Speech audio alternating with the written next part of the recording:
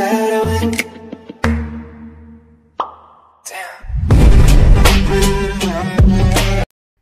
guys, ako nga pala si Chiki, ang inyong kunyang vlogger dito sa Hong Kong.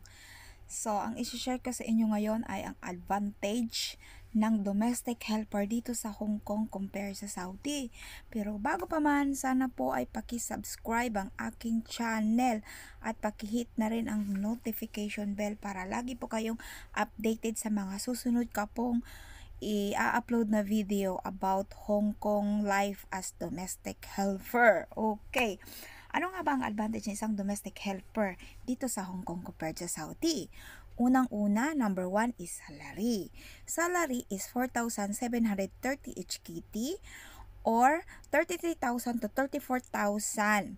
Depende sa palitan po ng Philippine money.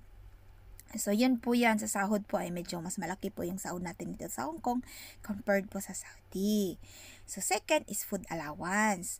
Sa ang mga domestic helper po sa Hong Kong ay meron pong food allowance which is 1,196 Hong, Hong Kong dollars. Yun nga lang po, ah, uh, hindi po ito lahat binibigay ng amo. May mga amo po na ibinibigay ang food allowance sa kanilang mga domestic helper. Pero karamihan po ay hindi po ito ibinibigay. Kundi uh, kasama lamang po ang kanilang domestic helper sa kanilang pagkain. Pangatlo is uh, weekly holiday. So, ang mga domestic helper po dito sa Hong Kong ay entitled for a weekly holidays. Yan.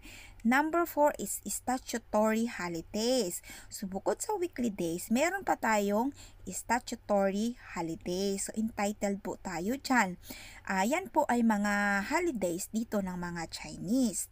Tulad ng Chinese New Year, mga festival nila. Pero hindi po lahat ng holidays ng Chinese is uh, entitled po tayo na holiday. So, depende po yan sa mo kung lahat ng red sa calendar ay ibibigay nila sa iyo. Maswerte ka. Pero kung hindi, magbe-base lang sila doon sa uh, statutory holidays. Ayan. Ngayon, pag hindi po yan ibibigay ng employer ay uh, dapat po ay bayaran ka niya. Okay? Uh, number 5 is medical assistance. Tayo po mga domestic helper dito sa Hong Kong, mayroon po tayong insurance. So, pag tayo po ay gusto magpa-check up at kailangan natin ng gamot, dapat po ay mag-provide si amo ng pang-expenses para dito. Dahil po, entitled tayo dyan.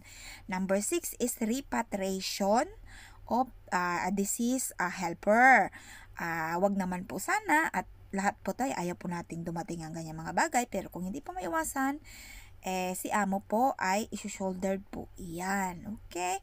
Uh, number 7 po is paid annual leave. So, every year, meron tayong 7 days paid annual leave. So, sa isang kontrata na pipirmahan mo, which is 2 years contract, is meron kang 14 days paid of leave. So, meron pa yung additional every succeeding years na madadagdag sa iyong kontrata sa iyong amo. Tapos, number 8 is meron tayong free plane ticket. We are entitled for a free plane ticket regardless regardless of our situation. Either tayo ay finish contract, uh, terminated, or break contract. So, entitled tayo dyan. Okay? Uh, number 9 is uh, severance fee long service fee. So, ito po ay may guidelines. So, hindi po lahat ng amo ay magbibigay na ito. So, meron po silang sinusunod.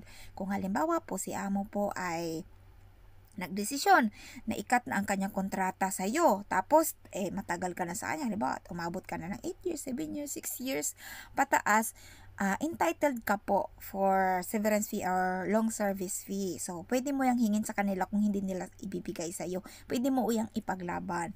Uh, isa din sa reason, isa limbawa kung uh, nagkasakit ka at dyan mo na-acquire yan habang nagtatrabaho ka sa kanila, pwede mong ilaban yan, hingiin mo ang iyong long service. So, yon And last naman po is ang accommodation. Uh, number 10 is free accommodation.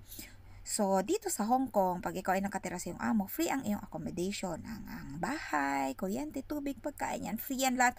Uh, maging mga personal needs mo, dapat nilang i, ibigay sa iyo yan. Dapat bilhan kanila. Maski nga pang winter clothing, ah, dapat si kanilang bilhan. Ah, entitled ka para sa mga dyan. Pero hindi po lahat ng amo ay binibigay yan. Okay, meron lamang pong mga amo na talagang generous, na sumusunod talaga sa batas. Yan. Ah, tsaka pag halimbawa live out ka, may mga amo kasi na gusto nila yung helper nila stay out. So, ang pag-stayhan mo, halimbawa boarding house, sila po ang magbabayad niyan. Ah, bayad ng boarding house, kuryente, tubig yan, food ah, provided nila yan. O yan. Yan ang mga advantage ng isang domestic helper dito sa Hong Kong compared sa Saudi. So, so yun lang lamang po. Sana po meron akong naitulong sa inyo. Sana po meron kayong natutunan. Ah, sana po paki-share or subscribe na lamang po ang akin channel. Ako po muli si Chiki, ang inyong kunyang vlogger. Marami pong salamat. Goodbye, God bless, and good luck.